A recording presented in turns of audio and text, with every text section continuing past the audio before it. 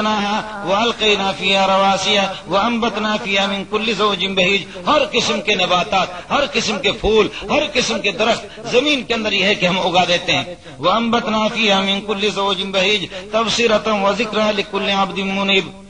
ونزلنا من السماء ماء مباركا فانبتنا به. آسمان سے برکت والا پانی ہم اتار دیتے ہیں. فانبتنا به جنات وحب الحصيد اسی سے باغات اگا دیتے ہیں اور گندم کے دانے اگا دیتے ہیں. والنخل باسقات لها طلع النذير. اور کھجور کے لمبے لمبے درخت ہیں اور ان کے خوشے دیکھو تہ بتایا والنخل باسقات لها طلع النذير.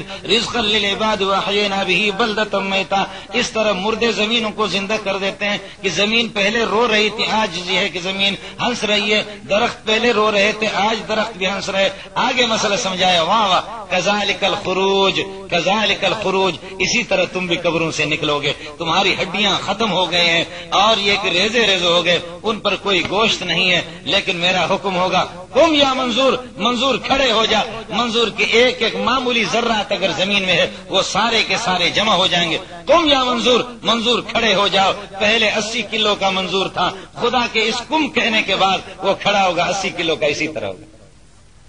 کزالک الخروج، اسی طرح زمین سے نکلو گے۔ جیسے اس ویران درخت کو میں نے، یہ پہلے رو رہا تھا، اب اس کو میں نے ہنسایا۔ یہ زمین پہلے رو رہی تھی، اب زمین کی ترو تازگی کو دیکھو۔ بارش برسنے کے بعد کس طریقے پر یہ کہ وہ ہرے بھرے ہو گئے؟ اس طریقے پر یہاں بھی ہوگا کہ آپ کے ذرات جہاں بھی جائیں، ان کو میں زندہ کروں گا اور ان کو یہ کہ میں اٹھاؤں گا۔ اس لیے میرے دوستو، آج کا سبق جو میں آپ کو پڑھایا، وہ خدا را اس کو صرف اتنا سا یاد کر لو کہ قبر جو ہے، اگر کوئی قبر کا انکار کر لیتا ہے اور کہتا ہے کہ یہ قبر قبر ہی نہیں ہے تو اگر کافر نہ کہو، لیکن میں نے عرض کیا کہ عذاب قبر بہرحال حدیث متواتر ہے اور تواتر کا انکار کرنے والا کافر ہے۔ اب ایک مسئلہ آپ سے اور آپ حضرات سے عرض کروں گا، بات ختم کر دیتا ہوں۔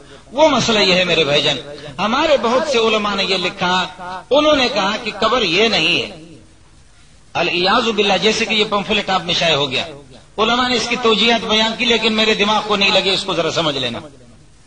یہ جو پمفلٹ شائع ہو گئے کہ ہمارے بہت سے علماء نے یہ لکھا کہ قبر یہ قبر نہیں ہے۔ تو ایسی بات نہیں ہے۔ وہ اس قبر کا انکار نہیں کر رہے، بلکہ یہ بتا رہے ہیں کہ آپ صرف یہ سمجھ لیں کہ قبر اسی کے ساتھ منحصر ہے، کہ سارے کے سارے اسی میں دفن ہوں گے اور جو اس سے نکل گئے جن کو جلایا گیا، سمندروں میں غرق ہو گئے اور جن کے راکھ ہو گئے تو وہ قبر سے بچ گئے۔ وہ فرماتے کہ نہیں، قبر کا مفہوم صرف یہ نہیں ہے، جیسے کہ مفتی صاحب نے بتایا، مجازی طور پر جانور کا پیٹ بھی اس کے لیے قبر ہے، یا کہہ دو وہ بھی برزخ میں ہے۔ لیکن اس قبر کو برزخ، اس قبر کی قبر ہونے سے انکار کر دینا کہ یہ قبر نہیں ہے، یہاں عذاب نہیں ہو رہا، یہ سری گمراہی ہے۔ اگر اس کو کفر نہ کہا جائے، اس کو گمراہی کہا جائے گا۔ اور جیسے حدیثیں آپ کے سامنے آ گئی پیارے پہ عمر صلی اللہ علیہ وسلم، مر ربی قبر دو قبروں پر آپ کا گزر ہو گیا۔ اور آپ نے فرمایا، اما مر ربی قبر ان فی کبیر۔ فرمایا، ان دونوں کو ایک بہت بڑے مسئلے میں عذاب ہو رہا ہے۔ اما احدهما فکان یمشی بن ایک ان میں سے چغل خور تھا، چغل خوریاں کرتا تھا۔ وہ اما ازا فکان لا یستنزه عن البول۔ وفي روایت لا لا یستتر عن البول۔ فرمایا کہ یہ جو دوسرا ہے، پیشاب سے اجتناب نہیں کرتا تھا۔ دونوں کو عذاب ہو رہا ہے۔ یہ قبر سے مر بقبرین مر بقبرین رسول پاک صلی اللہ علیہ وسلم کا ان دو قبروں سے گزر ہو گیا۔ فرمایا اما احدهما فکان یمشی بالنمیمت ایک چغل خور تھا۔ وہ اما هذا فکان لا یستنزه عن البول۔ یہ دوسرا پیشاب سے اجتناب نہیں کرتا تھا۔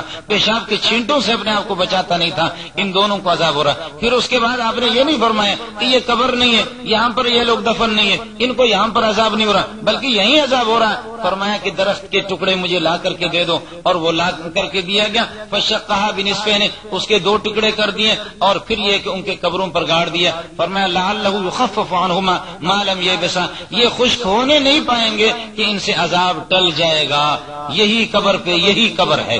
اور آپ فرما رہے ہیں آپ آ کر کے آپ نے عبداللہ بن ابئی رئیس المنافقین کا جنازہ پڑھا قرآن نے فرمایا کہ ولا تسل مات ابدن ولا تقم اللہ قبر ہی ان کے قبروں پر کھڑے نہ ہونا۔ اسی قبر کو کہا، محمد رسول اللہ، اسی قبر پر آپ آ کر کے کھڑے ہو گئے تھے۔ اسی سے آپ کو منع کیا گیا۔ اس لیے میرے بھائی جان، اس قبر سے انکار کر دینا اور یہ کہہ دینا کہ یہاں پر کوئی عذاب نہیں ہو رہا۔ میں عرض کر رہا ہوں، اجماع امت کے خلاف ہے، حدیث متواتر کے خلاف ہے۔ صحابہ سے لے کر تا یومنا ہر مسلک کے اندر، ہر مذہب کے اندر اور ہر بات کے اندر اختلاف ضرور ہوتا ہے۔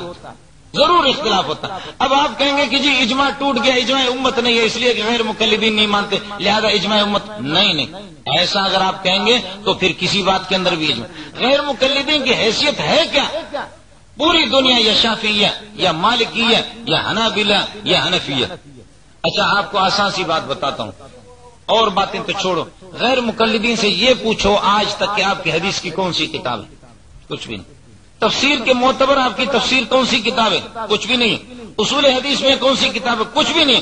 خدا کے بندو یہ گیارہویں، بارہویں صدی کے پیداوار ہے، یہ ابھی پیدا ہو گیا. ان کا کچھ بھی اعتبار نہیں ہوگا. اب آپ مجھے یہ بتا دیں کہ اس پورے مجمع کے اندر اگر لوگ یوں سمجھے کہ میری بات کو سمجھ رہے، مان رہے، اور دو آدمی اس قسم کے آگے، وہ کہتے ہیں کہ جی نہیں، ہم تو مانتے نہیں ہے تو اجماع تو ہو گیا، آپ نے میری بات مان لی۔ اب ان دو کو جن کی حیثیت، نمک کی حیثیت ہے آٹے میں، ان کو کون تسلیم کرے گا؟ غیر مقلدین کی یہی حیثیت ہے۔ آج کے پیداوار ہے۔ میں عرض کر رہا ہوں کہ یہ اجماعی عقائد ہے اور ان پر اتفاق ہو چکا ہے۔ اجماعی مسائل کو چھیڑنا، ان میں اختلاف کر لینا، یہ قطن اجازت نہیں ہے۔ اور اس میں یہ ہے کہ جو آدمی اجماعی مسائل میں ٹانگ اڑانے کی کوشش کرتا ہے، اس کا واحد علاج یہ ہے۔ آغا خان اسپتال میں داخلہ لے لو اس کے لیے، دماغ کا علاج کرا دو۔ یا یہ ہے کہ لیاقت اسپتال میں اس کے لیے، اس کو نفسیاتی ڈاکٹروں کو دکھا دو۔ ذہنی یہ ہے کہ جو علاج کرتے ان کو بتا دو کہ ان کا دماغ خراب ہو گیا۔ یہاں لکھا کسی نے، اللہ پاک کو خدا کہنا شرک ہے، خدا کوئی نام نہیں ہے۔ یہ سوال دیا۔ میرے بھائی جان، خدا اللہ کا ترجمہ ہے۔ خدا اللہ کا ترجمہ ہے۔ خدا کا معنی خود آئندہ۔ آپ یہ بتا دو کہ اللہ کو کسی نے لایا ہے یا خود آیا ہوا ہے۔ یہ اس سور مولانا فرما رہے ہیں کہ لفظ اللہ کا ترجمہ کیسے ہوگا۔ یہ اس صورت میں جبکہ اس کو مشتق قرار دیا جائے، آپ لوگوں کی مشتق جامد کو کیا سمجھیں گے؟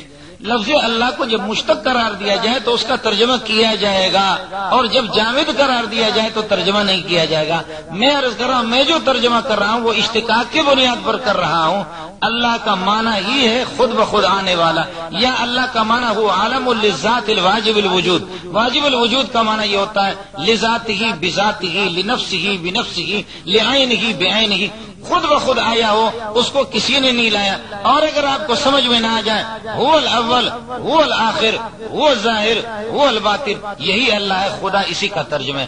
خدا فارسی میں، خدا کا معنی خود آئندہ، خود آیا ہوا ہے، جس کو وجود اپنے ذات ہی سے حاصل ہے، جس کا وجود کسی کا مستعار نہیں ہے، کسی سے حاصل کردہ نہیں ہے۔ یہ لفظ اللہ کا ترجمہ ہے اور کچھ نہیں۔ آپ مجھے بتا دو، رحیم کا کیا معنی ہے؟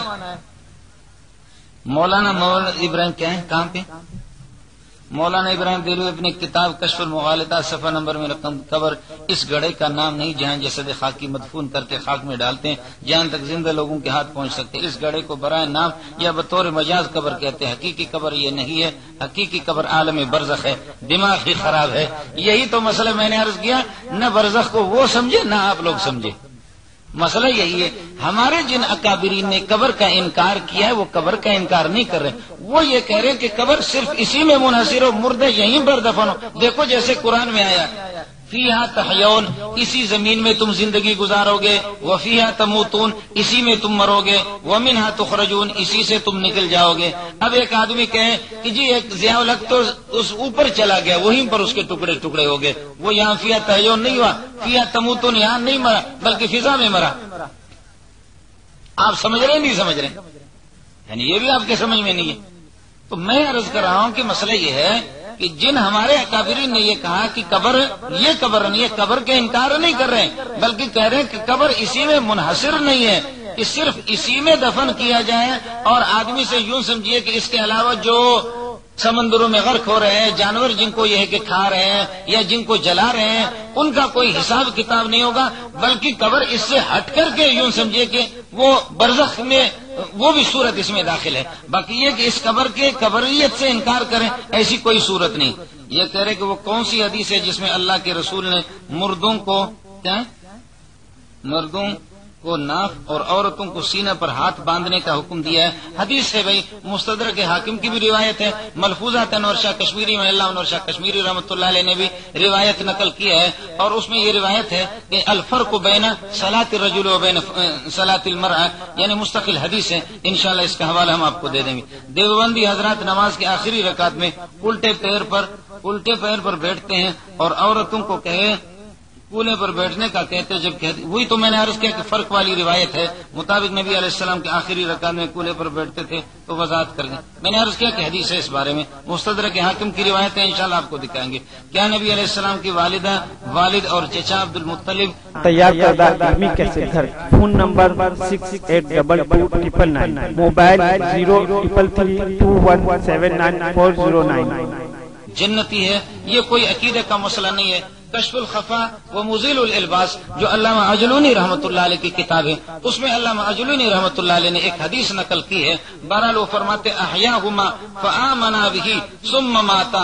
اللہ تعالیٰ نے نبی پاک صلی اللہ علیہ وسلم کے والدین کو زندہ کیا تھا، اور ان دونوں نے آپ پر ایمان لایا سم ماتا، پھر دونوں کا دونوں کا انتقال ہو گیا۔ یہ کوئی عقیدے کا مسئلہ نہیں ہے صحیح ہے ان میں ایسی کوئی روایت نہیں ہے۔ سیاستہ کے اندر اس قسم کی کوئی روایت نہیں ہے۔ البتہ یہ ہے کہ علامہ اجلونی رحمۃ اللہ علیہ نے یہ روایت نقل کی۔ ہمارے عقیدے سے اس کا کوئی تعلق نہیں ہے۔ آپ سے یہ نہیں پوچھا جائے گا کہ رسول پاک صلی اللہ علیہ وسلم کے والدین جنتی تھے یا جہنمی تھے۔ البتہ میں نے آپ سے عرض کیا کہ علامہ اجلونی رحمۃ اللہ علیہ وہ ناقد الحدیث ہے اور اس نے اس کو یہ نقل کیا ہے۔ عقائد علماء دیوبند کے عقیدہ نمبر تین پر لکھا ہے، زمین کا وہ حصہ جو نبی علیہ السلام کے جسم اتھر کو چھوئے ہوئے سب سے افضل ہے یہاں تک کہ کعبہ شریف اور عرش و کرسی سے بھی افضل ہے۔ کیا آپ اس سے متفق ہیں؟ جی ہاں میں اس سے بالکل متفق ہوں۔ آپ حضرات بات سمجھنے کی کوشش کریں۔ یہ اس بات کو تو آپ مانتے ہیں کہ رسول پاک اللہ کے علاوہ ماسو اللہ اللہ کے علاوہ مخلوق خدا میں، اللہ کی جتنی بھی مخلوق ہے مخلوق میں سب سے زیادہ افضل ہے۔ اور مخلوق کس کو کہتے ہیں؟ کچھ تو بولو۔ کہ جب اللہ تھے اور وہ نہ ہو تو اس کے بعد والے سارے کے سارے مخلوق ہوں گے۔ عرش تو کئی ہزار سال بعد میں بنا ہے۔ عرش مخلوق ہے، کرسی بھی مخلوق ہے۔ اور یہ مسلمہ بات ہے کہ مخلوق میں سب مانتے ہیں کہ رسول پاک صلی اللہ علیہ وسلم سب سے افضل ہے۔ تو عرش و کرسی تو ظاہر ہے وہ مخلوق ہیں۔ ان سے بھی نبی پاک صلی اللہ علیہ وسلم افضل ہے عقیدہ نمبر دو پر لکھا ہے کہ نبی علیہ السلام اپنی قبر میں زندہ بالکل اسی طرح، جس طرح ہم دنیا میں زندہ ہے کیا آپ اس سے متفق ہیں؟ بالکل اس سے متفق ہیں۔ لیکن اس بات کو ذرا سمجھو، یہاں آپ صلی اللہ علیہ وسلم مکلف ہیں، قبر میں آپ مکلف نہیں ہے اور پھر اس مسئلہ کو بھی سمجھو، تو ولا تقول علما فی سبیل اللہ اموات جو اللہ کے راستے میں شہید ہو گئے، ان کو مردہ نہ کہو۔ بل احیاؤن بلکہ وہ زندہ ہے ولا قلعہ تشورون شہدا کے لیے عبارت النس، اب آپ کیا سمجھیں گے؟ عبارت النس سے ان کی حیات ثابت ہے۔ نبی پاک صلی اللہ علیہ وسلم کی حیات مبارک ہے، وہ دلالت النس سے ثابت ہے۔ دلالت النس اور عبارت النس کو آپ اس طرح سمجھیں گے۔ آسان مثال میں آپ سے عرض کروں۔ یہ دیکھ لو۔ حدیث میں آیا کہ ہڈی سے استنجا نہ کرو۔ بولو۔ حدیث میں آیا کہ ہڈی سے استنجا نہ کرو۔ کیوں جی؟ وہ جنات کی غذا ہے۔ آپ کے بھائی فین نہ آزاد اخوان کو من الجن۔ جنات اس کو کھاتے ہیں۔ ٹھیک ہے؟ اچھا حدیث میں یہ کہیں آیا ہے کہ پراٹھے سے استنجا نہ کرو۔ آپ لوگ سو رہے ہیں نا؟ آپ کو اللہ نے ذوق ہی نہیں